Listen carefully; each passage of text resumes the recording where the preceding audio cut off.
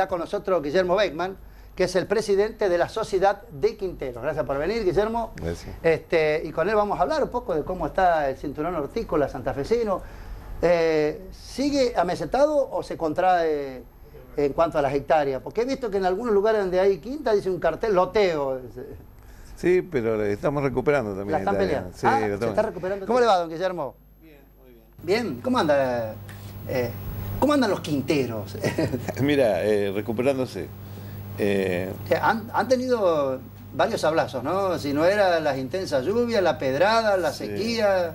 realmente que era un sector que vivíamos quejándonos. En el 2009 tuvimos un cambio que entramos eh, con CAME a trabajar bien CAME. eh, y eso no- nos dio un impulso. ¿no? Este, presentamos unos proyectos en Buenos Aires. CAME hizo la gestión y bueno, ahí empezó el cambio. ¿no? Eh, conseguimos media sombra para un buen sector nuestro, eh, algo de 160 hectáreas que pudimos cubrir. Y se fue entusiasmando la gente porque habíamos perdido el entusiasmo y eso es triste. Ahora este, tenemos problemas de rentabilidad, tenemos problemas de laboral, pero lo vamos acomodando, despacito se va acomodando. Y tuvimos la sorpresa a fin de año que con una ayuda del gobierno provincial, eh, de un aporte económico a raíz de las tormentas que hubo en, eh, en el año pasado, a fin de año, Oh, eso del 15 de diciembre fue Sí, fatal, ¿no? fue Nos asustó a todos, ¿eh? A nosotros este, nos hizo bastante daño.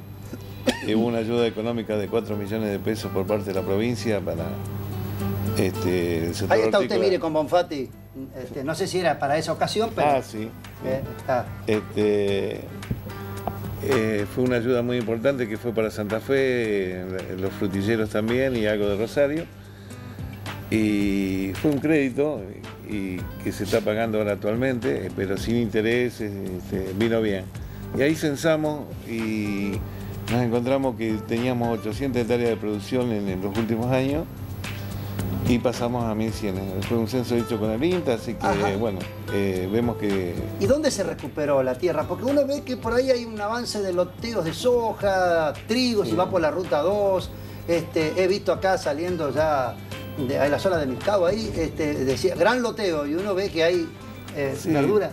Pero hace 10 años o 12 años atrás teníamos 3.600 hectáreas de producción 3.600, claro. y en este momento eh, todavía están en manos de los productores, la mayor parte. Pero la que está cerca de la ciudad, este, bueno, se va vendiendo un poquito para, para edificación, pero este, todavía queda mucha tierra en manos de los productores y queremos que, en vez de sembrar alfalfa o soja, siembren este, verdura, que es muy bueno para, para el, el consumo local y de las provincias. Está bien, pero nadie vecinas. hace beneficencia ni filantropía. Usted produce lo que le va a dejar plata. Este, ser quintero hoy es rentable, es redituable, uno puede vivir de eso. Mira, es muy difícil. Lo que pasa es que es muy difícil también cambiar de profesión. eh, está quedando mucha gente grande. eh, no hubo recambio generacional.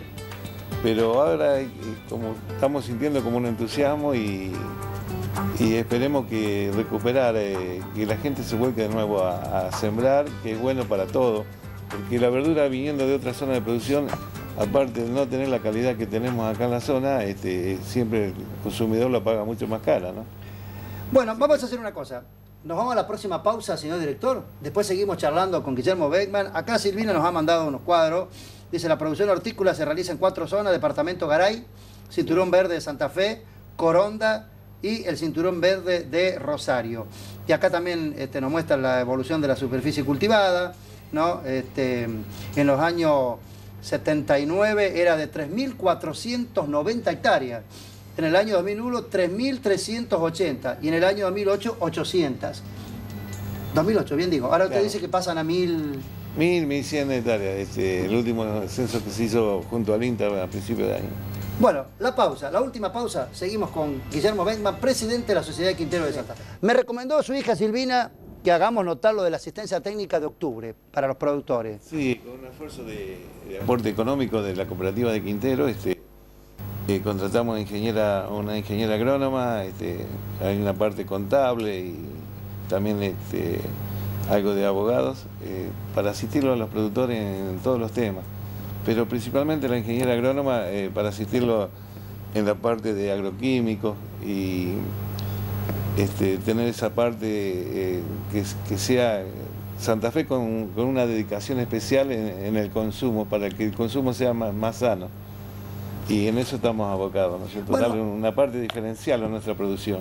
Claro, eso es importante. Uno siempre habla de la vida sana, los nutricionistas están muy de moda, muy de onda, hay programas, pero para una vida sana precisamente uno necesita... El, mercado abastecedor lleva adelante mucha difusión de todo esto, este, de consumir verduras por ahí, la gente dice, bueno, cuando la estación es cara, este, pero, pero hay que mezclar con...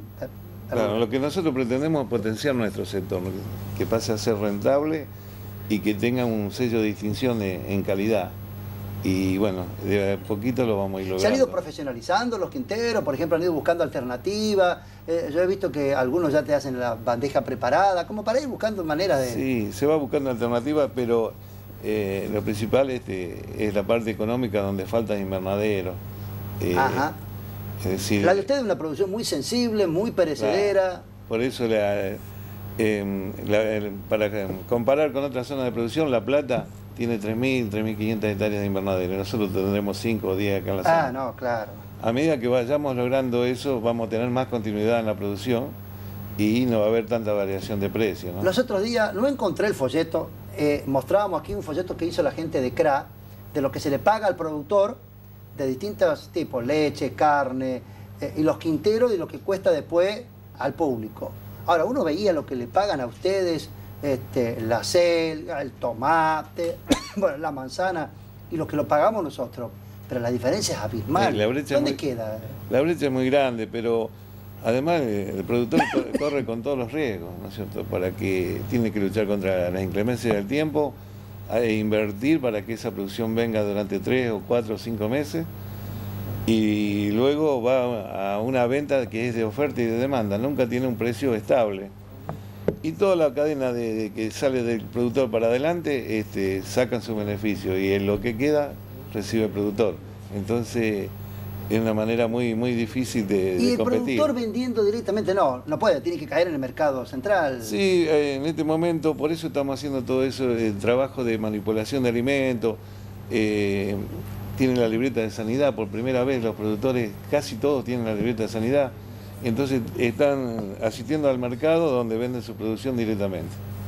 Entonces, y, este, ahí defiende más su mercadería y, y eso lo vemos muy importante todo eso va llevando a que haya más entusiasmo y se vaya revirtiendo esa situación. ¿no? Para terminar, una cuestión que me contaba usted los otros días, los empleados de origen boliviano en muchos casos alquilaron las quintas y se transformaron de empleados a patrones. Hoy en día tenemos en el Cinturón Hortícola de Santa Fe entre un 60 y 70% de patrones bolivianos. Es decir, este, lo que han trabajado en una época que se llamaba mediero, este, pasaron a arrendar quintas y ellos mismos este, Además es una gente muy laboriosa, le gusta lo que hace y lo hace con muchas ganas, así que aporta mucho a nuestro sector hortícola. Bueno, lo vamos a seguir invitando para que nos siga, porque hace rato que no venía. Mire, estábamos casi Urquiza cuando vino la última vez, que trajo todos los cajones, ¿se acuerda? De verdura. Hicimos todo un show. Pero vamos a seguir invitando. Este, y bueno, eh, ahora celebraron la fiesta. Hace poquito, ¿cuándo fue el día del Quintero? El, el 16 de septiembre, pero ahora la festejamos el